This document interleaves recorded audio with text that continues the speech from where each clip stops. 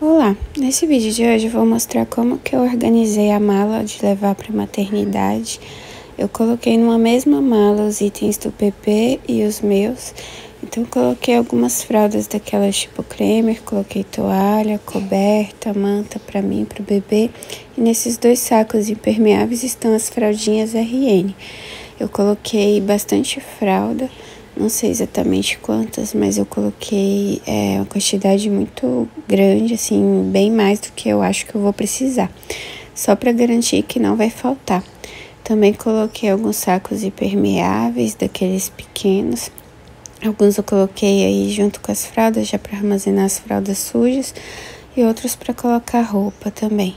Coloquei sutiã, coloquei calcinha. E aí as mudas de roupa é, do bebê eu já coloquei com uma fraldinha dentro, né, do saco.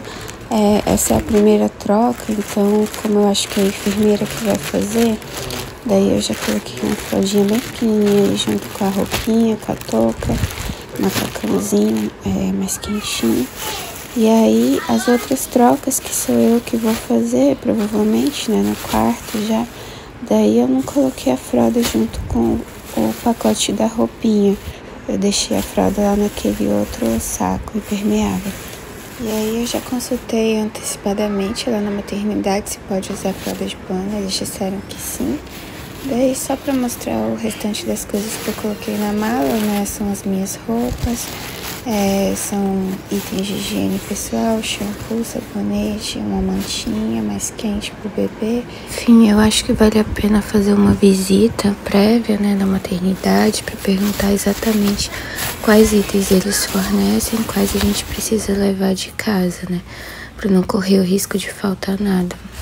E aí, como absorvente pós-parto, eu decidi levar para maternidade esses absorventes descartáveis mesmo esses aí são noturnos, bem reforçados mesmo, mas eu também tô levando esse outro que é um pós-parto, né, próprio para isso.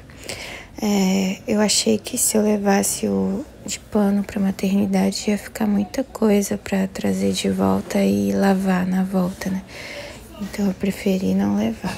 E acho que essa foi uma decisão certa, porque a partir desse dia minha pressão começou a subir eu tive bastante inchaço nos pés e nas pernas. Daí eu fiz alguns exames né, de emergência.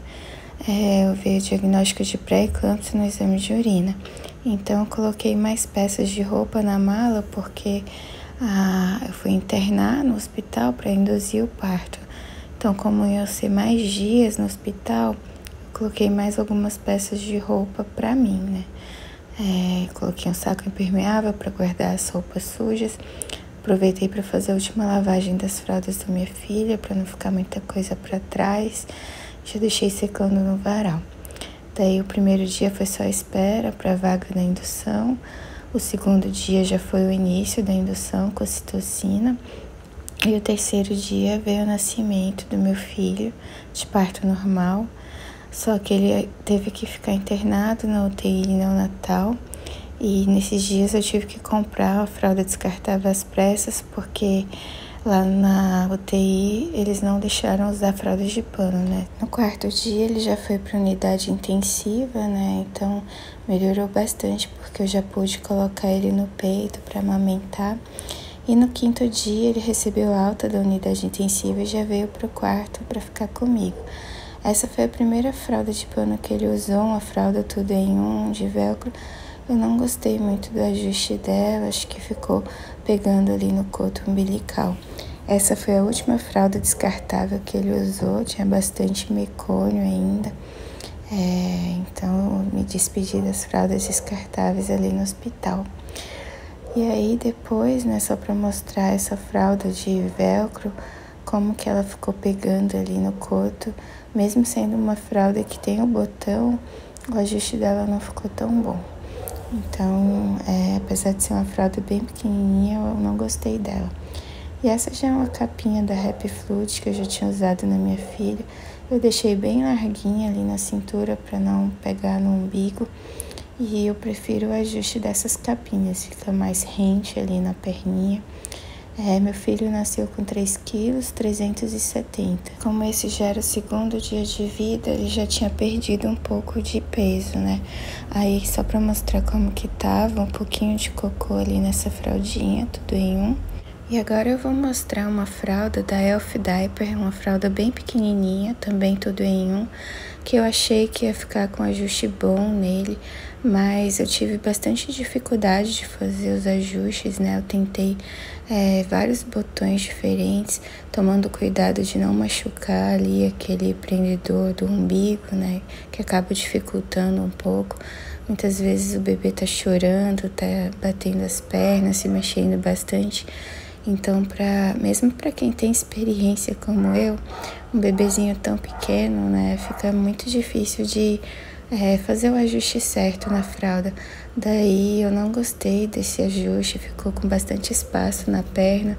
Tentei outro botão também, então assim, mesmo para mim, que já tenho bastante experiência com o uso de fraldas de pano, eu tive uma certa dificuldade de achar o ajuste certo para essas fraldas que tem menos botões na frente, né? Essas fraldas tudo em um, que são bem pequenininhas mesmo, elas têm apenas seis botões ou oito botões na frente, que acabam dificultando o ajuste na hora de fechar aquele único botão da aba muitas vezes fica difícil. Então, assim, respira fundo, tenta achar o melhor botão, mesmo que fique um espaço ali nas pernas. Nesses primeiros dias tem bastante cocô e pouco xixi, então é, dificilmente vai vazar. Daí eu deixei o coto ali para fora, né? Essa vantagem dessa fraldinha, que o coto fica para fora. Fechei o bari. E aí, só para mostrar outra fralda que eu tinha acabado de tirar, tinha pouquinho xixi. E tava meio amarelada ali também por causa da pomada que eu tava passando. Aí, para mostrar no outro dia, uma capinha também da Happy Flute que eu usei na minha filha, só que essa com botões. Daí eu usei uma ajustada de algodão ali por dentro.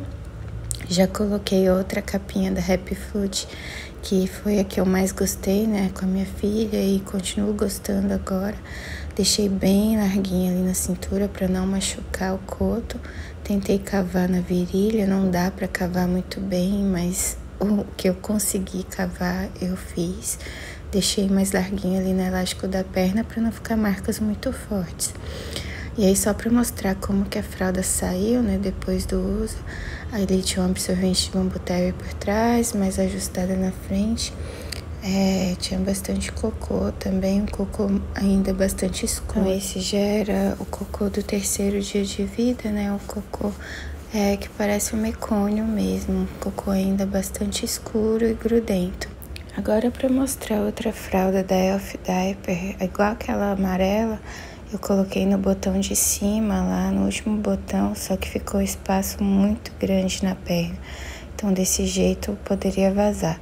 Daí eu coloquei no botão de baixo, na fileira de baixo, e dobrei a parte interna para fora, ali no coto umbilical. Essa fralda que eu tinha acabado de tirar tava só com mancha de pomada. Essa pomada Huggies de calêndula que fica meio amarelada. E aí eu fui armazenando as fraldas nesse saco impermeável e levei para casa. Aí quando cheguei em casa, finalmente, graças a Deus, aí essa fralda tava com um pouquinho de cocô apenas, então não vazou. E aí eu fui arrumar a bagunça das fraldas da minha filha, né? Fraldas de uma semana praticamente acumuladas para montar. E aí, finalmente, com as fraldas montadas.